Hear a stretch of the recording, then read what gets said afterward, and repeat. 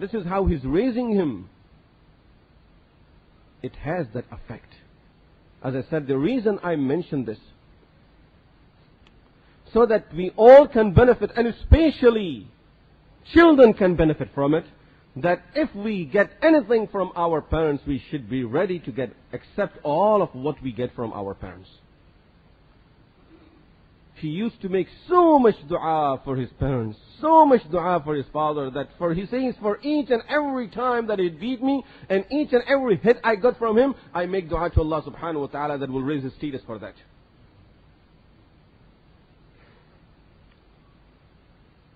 Hazrat Rahmatullahi alayhi says, I never used to get chance to go home and spend time with my mother. Mother used to live in another town. This young boy is living with his father. One day my father called me and he said, Son, would you like to go and spend Eid with your mother? Eid. Have Eid with your mother? I said, Yes. And I started celebrating for the rest of Ramadan that this Eid I will be with my mother. Imagine what will be the happiness of that child who knows that I will be spending Eid with my mother. I don't know if you have experienced anything like this. I have experienced it. Not in that manner, but in different way. And I'll tell you my experience. If you heard there was once in Saudi Arabia, they made a mistake at the beginning of Ramadan, and therefore at the end of the Ramadan they announced that after 28 days we made a mistake at the beginning, so now Eid will be on the 29th day of Ramadan, which simply means that is the first of Shawwal, and then we will have to make up for one day because the mistake was made at the beginning. Anyone can make a mistake. And this is the right ruling. That after 28 days they see the side the moon, so they announced that at the beginning well, we have made a mistake. So today we will have Eid and we will make up for this, for one fast uh, after Eid. Whole family was in Makkah and I'm in Medina. And we plan to leave after Fajr and as we are leaving, we'll station somewhere and that person says, Eid Mubarak. I said, what are you talking about? It's only 20 days, 28 days of uh, Ramadan. He says, no, they announced that they made a mistake, so therefore now we are having Eid. Had no choice but to go back to Medina with my older brother. And believe me, throughout the day, tears are falling off my eyes that I'm doing Eid without my family, without my parents. Doing Eid without them is not that easy, and especially at that age. He says, now I would have had the opportunity, I will be doing Eid with my mother. On the night of Eid, he called me. He says, Zakaria, what are you going to do there? There is no need to go there. Spend the time here. He says, I couldn't say anything, but tears, I had no control over my tears that are falling continuously. They were showering off my eyes, and throughout the time I'm crying, I perform Salatul Eid, and still tears are falling off my eyes. And that day I cried so much that my eyes turned red, they were swollen. He looks at my eyes, doesn't say anything. He just looks. Father, of course, after all, oh, he has mercy. But he at the same time wants to teach his children something that others don't have. Next day he says, he called me and he said to me, Zakaria, I was really planning to send you.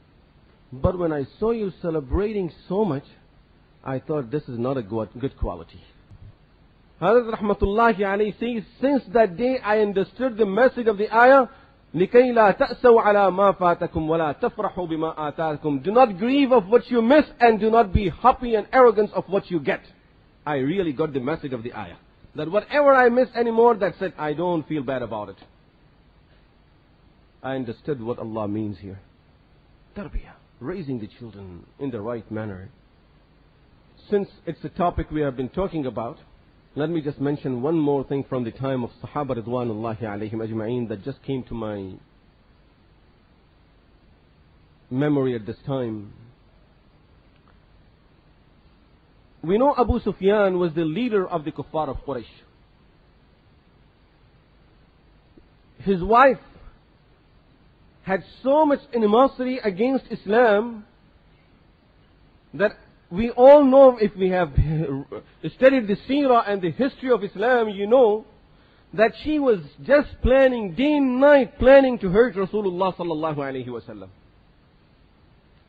She is the one who assigned Wahshi radiyallahu anhu to kill Hamza radiyallahu anhu. And then you know what she did after that. Cut his ears, cut his nose, and whatsoever she did. So it shows her animosity against Islam. That is a family in which as soon as you stand, you enter that door, the only thing you hear is, how can we hurt Muhammad sallallahu alayhi wasallam? Plotting, planning against Islam. Day and night, you will hear these things over there. A child is being raised over there, Muawiyah radiallahu anhu.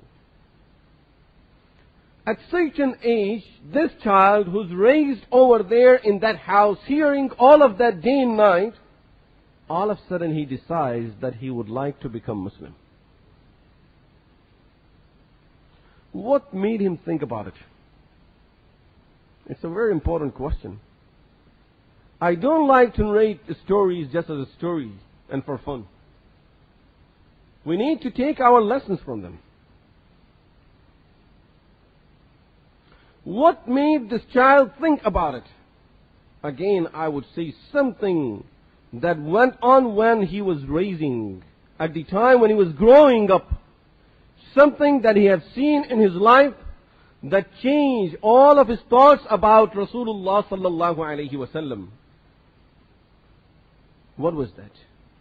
He says when they captured Khubayb radiallahu anhu. And the day came when they decided that they are going to kill Khubayb radiallahu anhu. As they put Khubayb radiallahu anhu on the cross. Khubayb started making dua against the kuffar that are present over there and killing him. Allahumma ahsihim adada. Ya Allah, keep the exact count of each and every one of them. And destroy all of them.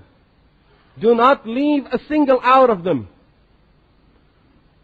The kuffar of Quraysh had a belief that if a virtuous man makes a dua, that dua is always accepted. And the way of protecting yourself against the effect of that dua is you lay down on the ground lay flat on the ground, you will be protected against the effect of the dua. This was their belief. Muawiyah, the young boy, sees his father heading all the kuffar. And he is the one who's doing all of those things. And as soon as Khubayb raises his hands to make that dua, he says, my father pushed me hard on the ground so that I'm laying flat on the ground. I won't be affected by that dua. While I'm laying on the ground, I'm thinking to myself, if really my father means what he says at home, then why is he afraid about the dua of Khubayb? He must know that Khubayb is on the right track and we are wrong. This is why he's afraid of the dua of Khubayb. He says that since that day I realized that Islam is the true deen of Allah subhanahu wa ta'ala.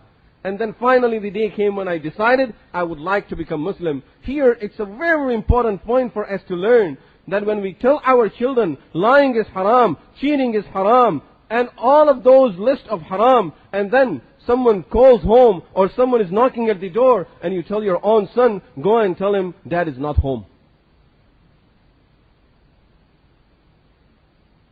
Saying is different than the action we say something, we do something opposite. Muawiyah radiallahu anhu hears all of those things at home from his father, from his mother, from his uncles, from his brothers and sisters. Everyone is talking about something, but the action is totally opposite than that. They really, through their action, they are proving that they believe in the truthfulness of Rasulullah sallallahu alaihi wasallam, and that action was the thing that affected this young boy. So Shaykh al-Hadith rahmatullahi alayhi.